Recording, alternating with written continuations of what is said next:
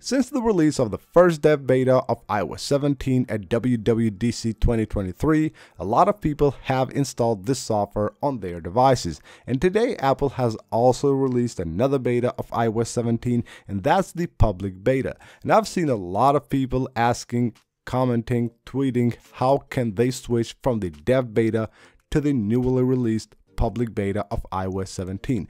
Well, I will show you guys in this video how to do that. It is actually very straightforward. It is very simple to do. Even though you can do it right away, you won't be able to actually switch the software. You will have to wait for a few more days in order to do that. Of course, all this if you're currently on the iOS 17 dev beta 3. So again, as I said, the process is very simple and it will take you just a few seconds. What you need to do first of all is of course head on to your settings app and then go to general right here, go to your software update.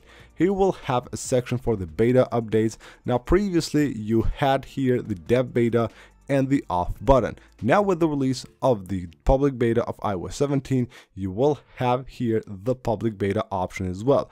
Now the only thing you have to do here to switch to the public beta program, just go ahead and select this.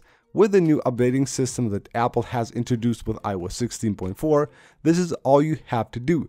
But what you do now is to go back and there is no update because you currently have iOS 17 dev beta 3 on your device. So for you to move to the public beta program, you will have to wait for the next public beta to be released.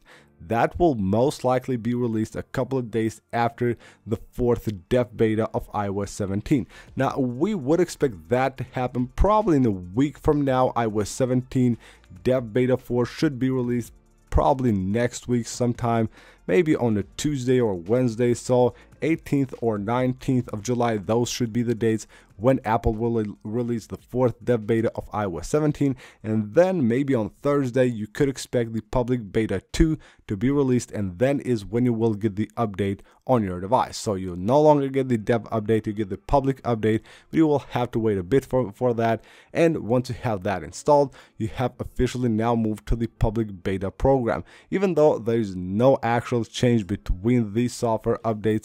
I don't see any reason why someone would do that, like switching to the public beta program. But if you just want to do it, this is the way you can actually do it right now on your device. So that's basically it for this video, guys. Thank you guys for watching. Go ahead, leave a like if you enjoyed the video. Of course, subscribe for more. I will see you on the next one.